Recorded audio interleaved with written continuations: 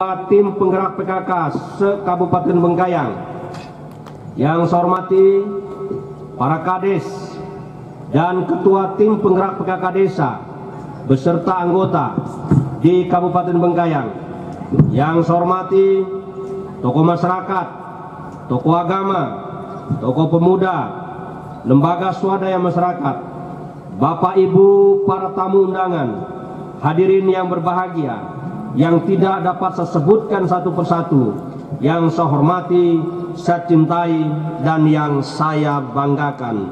Selamat pagi. Adil Kak Talino, Bacuramin Kak Saruga, Basengat Kak Jubata. Puji dan syukur kita panjatkan kehadirat Tuhan Yang Maha Esa. Karena pada pagi hari ini kita telah diberikan rahmat dan karunia sehingga dapat berkumpul bersama di halaman kantor Bupati Satu Atap ini guna mengikuti kegiatan Hari Kesatuan Gerak PKK ke-47 dan pencanangan bulan bakti gotong royong masyarakat ke-16 tingkat Kabupaten Bengkayang tahun 2019 yang juga dirangkaikan dengan Hari Kartini tahun 2019. Hadirin yang berbahagia, dasar dari pelaksanaan pencanangan bulan bakti gotong royong masyarakat ke-16 Hari Kesatuan Gerak PKK ke-47 dan HUT Kartini ke-140 adalah A.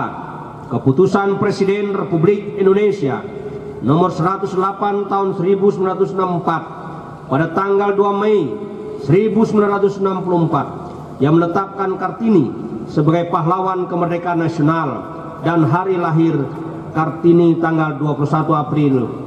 B Peraturan Menteri Dalam Negeri Nomor 42 Tahun 2005 tentang pedoman penyelenggaraan Hari Bulan Bakti Gotong Royong Masyarakat atau BBGRM. C. Peraturan Menteri Dalam Negeri Republik Indonesia Nomor 1 Tahun 2013 tentang pemberdayaan masyarakat melalui gerakan pemberdayaan dan kesejahteraan keluarga. Peringatan Hari Kesatuan Gerak PKK merupakan momentum untuk mengevaluasi kegiatan PKK selama satu tahun yang telah dilewati Evaluasi tersebut mencakup apa yang sudah dicapai dari penjabaran 10 pokok program PKK, apa masalah dan apa yang hambatan, serta bagaimana solusi yang dibuat untuk menjadikan tonggak agar bisa melangkah pada tahun-tahun berikutnya. Demikian juga, bulan bakti gotong royong masyarakat merupakan momentum kita bersama untuk mengingatkan kita semua tentang arti pentingnya gotong royong Gotong royong harus kita maknai bukan hanya sebagai slogan dan hanya sebatas kata-kata. Gotong royong harus kita aktualisasikan dan kita laksanakan dalam kehidupan sehari-hari, dalam bekerja, dan diwujudkan dalam suatu tindakan yang lebih nyata. Bersamaan dengan ini juga, dipadukan dengan hari ulang tahun Kartini ke-147, 140 tahun 2019, di mana dengan semangat Hari Kartini wanita tangguh di era ekonomi digital, kedudukan wanita Indonesia telah sejajar dengan kaum pria dalam berbagai bidang dan sektor pembangunan. Walaupun kita akui jumlahnya belum dapat seimbang bila dibandingkan dengan kaum pria, namun demikian hak antara kaum pria dan wanita di Indonesia telah sama.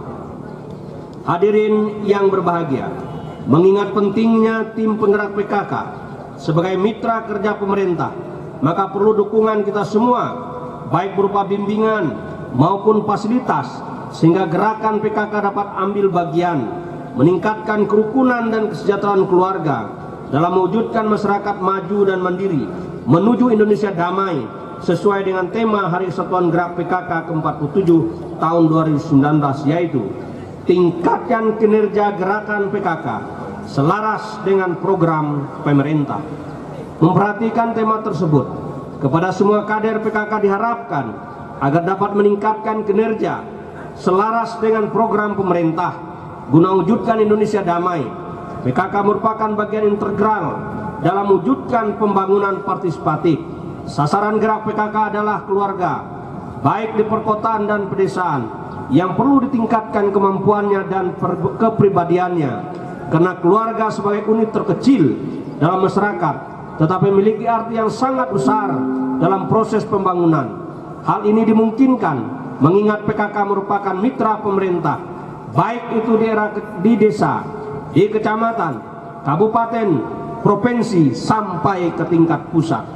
Hadirin yang berbahagia, berdasarkan surat sekretaris daerah Kabupaten Bengkayang nomor 414 titik 2 garing 0510 garing DPMPD 2T tentang penetapan kecamatan lokasi pencanangan bulan bakti gotong royong masyarakat ke-16 dan hari kesatuan gerak PKK ke-47 Kabupaten Bengkayang tahun 2019 maka diselenggarakan pula pencanangan bulan bakti gotong royong masyarakat ke-16 yang pelaksananya berdasarkan peraturan menteri dalam negeri nomor 42 tahun 2005 pasal 2 ayat 2 bahwa pelaksanaan bulan bakti gotong royong masyarakat dilaksanakan selama satu bulan pada bulan Mei setiap tahunnya.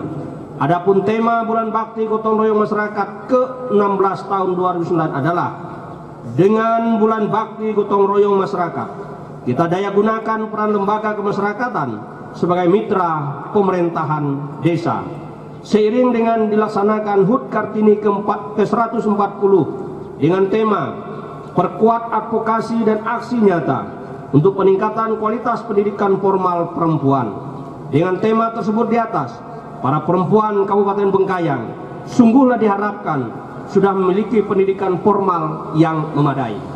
Hadirin yang berbahagia, dengan telah dicanangkannya bulan bakti gotong royong masyarakat ke-16 pada hari ini, agar seluruh desa masing-masing melaksanakan gotong royong di desanya dengan melibatkan seluruh masyarakat dan lembaga kemasyarakatan di desa baik itu LPMD, Karang Taruna, KPMD, RT, RW, lembaga adat, kelompok-kelompok keagamaan, paguyuban, dan lembaga lainnya dengan cara membersihkan fasilitas-fasilitas umum, baik itu tempat pemakanan umum, lingkungan rumah ibadah, lingkungan sekolah, dan lain-lain. Kegiatan tersebut hendaknya dilaporkan kepada Bupati Bengkayang melalui camat dan camat diminta menghimpun laporan dari desa beserta dokumen kegiatannya. Hadirin yang berbahagia, memperhatikan ada beberapa kegiatan yang dipadukan, maka kita bisa menggaris bawahi bahwa kegiatan tersebut dilaksanakan untuk meningkatkan kepedulian dan peran aktif masyarakat baik sebagai organisasi dan lembaga untuk mengubarkan semangat kebersamaan, kekeluargaan, kegotong royongan dalam penguatan persatuan dan kesatuan masyarakat menuju keluarga sehat dan sejahtera dalam membangun Kabupaten Bengkayang yang kita cintai ini. Saya juga mengucapkan terima kasih kepada para camat, khususnya Kecamatan Teriak beserta Ibu selaku Ketua Tim Penggerak PKK serta seluruh jajarannya yang telah menjadi tuan rumah untuk kegiatan kita pada hari ini tanggal 30 April 2019 sampai pada tanggal 2 Mei 2019. Selamat berlomba kepada seluruh anggota dan tim PKK dari tiap-tiap kecamatan dan sukses untuk panitia penyelenggara. Ibu bapak, saudara-saudara sekalian yang saya hormati, saya cintai dan yang saya banggakan. Di momentum yang sungguh penting dan strategis ini, saya kembali mengingatkan kepada kita sekalian, tugas dan tanggung jawab kita ke depan, sehubungan dengan 20 tahun telah berusianya Kabupaten Bengkayang, kita akan menghadapi berbagai tantangan. Tantangan yang sungguh harus kita selesaikan, di antaranya semua kita, para kepala desa dan seluruh masyarakatnya, desa-desa kita tidak kurang dari 122 desa. Baru dua desa yang dikategorikan sebagai desa maju. Kemudian masih banyak desa-desa yang tertinggal. Kemudian sangat tertinggal dan berkembang.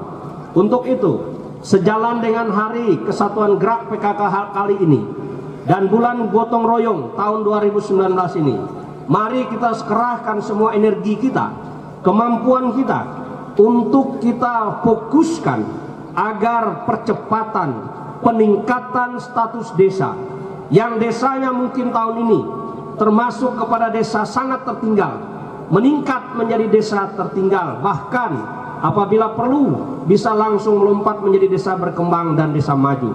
Ini dapat kita kerjakan apabila sama-sama kita bergandengan tangan memfokuskan diri agar apa pun program baik itu program OPD maupun program-program yang didanai melalui dana desa hendaknya difokuskan dalam rangka peningkatan status desa yang ada di Kabupaten Bengkayang.